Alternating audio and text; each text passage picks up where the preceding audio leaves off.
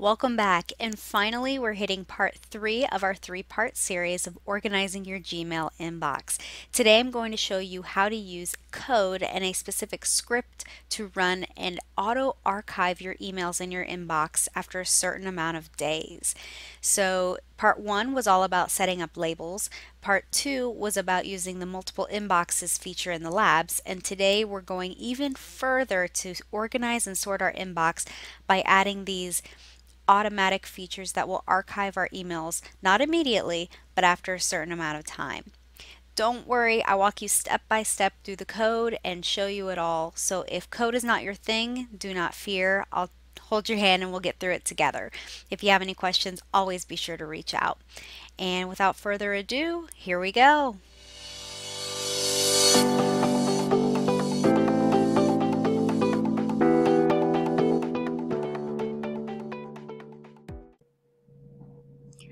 Okay, so as you can see, we've been through two parts of organizing our Gmail inbox, and the inbox still looks a little messy. So the last thing we're going to do is add a little bit of automation so that certain emails are archived automatically after a certain amount of time, whether it's one, two, three, or seven days. Yeah. So the first thing I did in order to make that happen is I found this article here on Medium and I thought we, you and I would walk through it together to see how it works. So the first thing it says is how to archive emails after two days. Now, on the script page where people were making comments, someone updated the script to allow multiple tags to do multiple different options of days. And I liked that better so that they weren't all just two days. So that's why I went with that. The first step is to create the labels and then use the filters to add the labels, which I showed you back in part one of this series. So what you can do is take a message, for example, and um, filter. Uh, I want to be very specific so that if other emails come in from that company, okay, this one probably isn't a good example because there's only two. Um, here, your, your meeting attendees are waiting. That's nothing that I need more than a day. So I'm going to go to filter messages like these. But there's a lot of emails coming in from Zoom, and I want to make sure that I'm only archiving these specific ones so I can see some of the other notifications if they're important. So I would say has the words um, your meeting attendees are waiting. There. So only the ones that have those words, your meeting attendees are waiting, will get auto-archived after a day. So I'm going to apply the label a1. Create filter. Now as you can see, I already went through and created these tags by going to uh, the settings and I clicked on labels and I created those labels.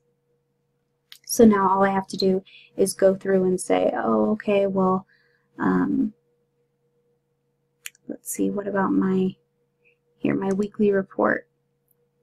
That's usually nothing that I need to keep more than a week, um, but sometimes I forget to go in and archive it. So we'll set it up to automatically do that. Let's filter.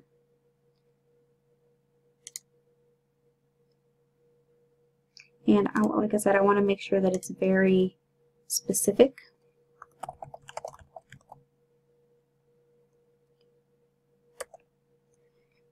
What did that say? Um, okay, so I want to make sure it says the word clean. Your site report, your site is reported clean. Oops. There.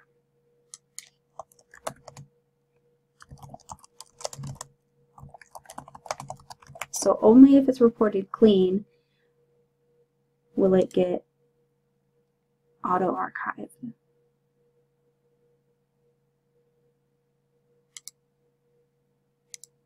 After, let's say, seven days.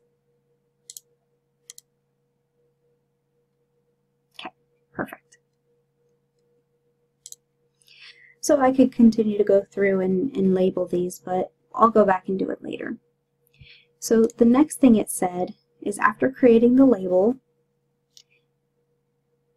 then we need to go to script.google.com to create the script. And then it says go ahead and get the, your code here. But when I read the comments, that's when I found that there were modifications to make it better.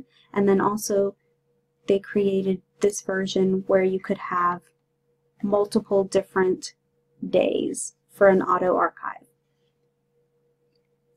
So it said to go ahead and grab the code. I'm going to copy that. I'm going to go back to my project and paste it in. Um, but obviously I, I did make that change where the label isn't the full auto archive, it's just the A dash. So I'm going to delete that out of this line here, the label by name. And then uh, this person down here actually said that they didn't like that the script marks everything as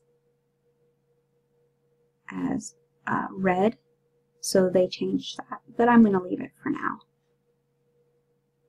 Okay so next you would go to file save.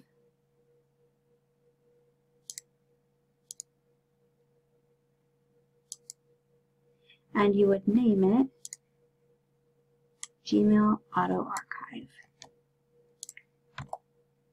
Okay.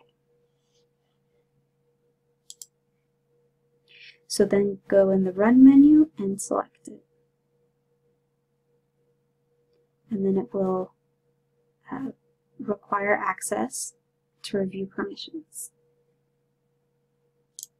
So, run, run function, um, auto archive. Okay, review permissions.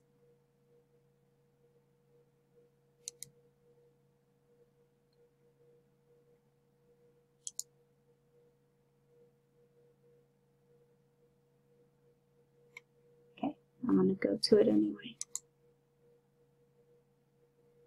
Allow, because I want it to manage my email and it's running the function.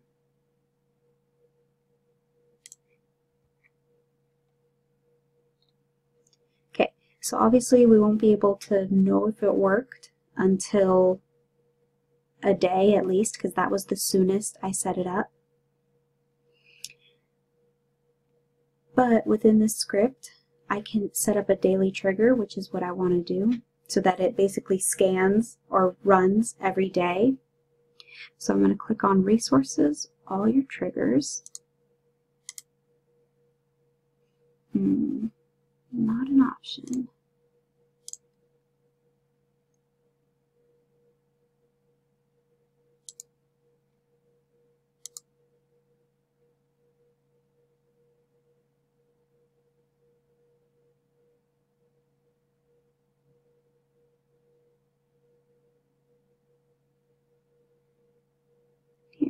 It's under edit. Edit all your triggers. So we can add a new one. So we want to run this script, time driven. Um, you can run it every 12 hours or every day if you'd like.